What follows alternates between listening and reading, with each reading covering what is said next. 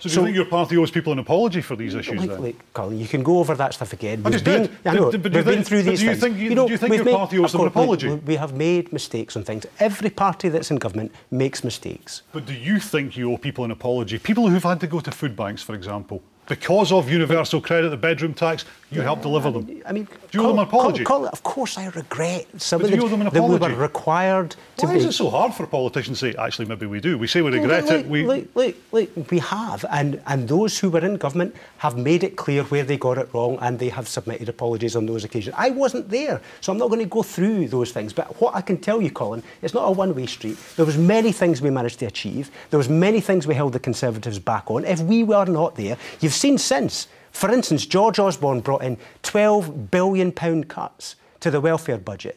That's what he. Liberal Democrat no, no, Chief Secretary no, to the Treasury. No, no, He brought them in after we left government, Colin. That's the crucial thing. We stopped it when we were there. So it would have been an awful lot worse if Liberal Democrats had not been in government. Of course, it was hard, but government is hard, Colin. You're not going to say sorry for any of that. Look, we've made, we've, we've expressed regret. We've said we're sorry.